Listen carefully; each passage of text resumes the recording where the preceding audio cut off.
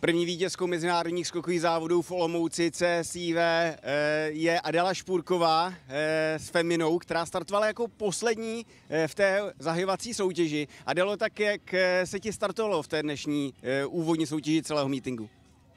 Bylo to dobré, parkoury byly celkem jednoduché a... Máme tady známého stavitele Alana Vejda. Jak se ti právě eh, startovalo a jak, eh, jak náročný kurz si pro vás připravil na úvod?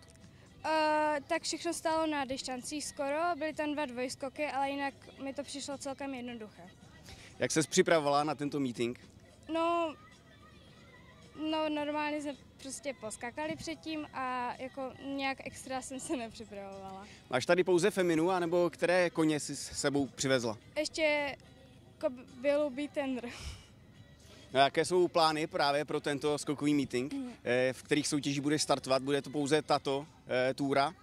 Ano, no a ještě, jo, prostě tato túra. Eh, čekala jsi hned na úvod, že to dopadne takto skvěle a jakou roli hrálo to, že jsi startovala jako poslední a mohla si tedy znát výsledky a časy svých soupeřů? No, bylo to jako pro mě lepší, jsem startovala poslední, protože jsem mohla vědět, jako, že pokud budou víc házovat, tak bych jela spíš na to, aby nezhodila a jako jeli, já jsem normálně. No.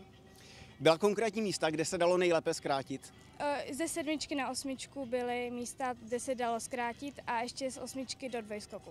Takže to bylo to místo, které podle tebe rozhodlo o tvém vítězství? Ano tak budu držet palce, ať se ti dál daří a ať to dnešní vítězství není poslední během eh, tohoto meetingu v rámci světového poháru v Olomouci. Děkuji.